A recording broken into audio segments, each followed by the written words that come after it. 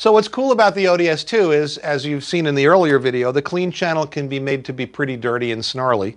Uh, consequently, the dirt channel as well can be made surprisingly clean, just based on how you pick and how you set your, your levels. Uh, you can get a surprisingly clean tone and then take it over the top just by how you adjust things on both your guitar as well as the amp.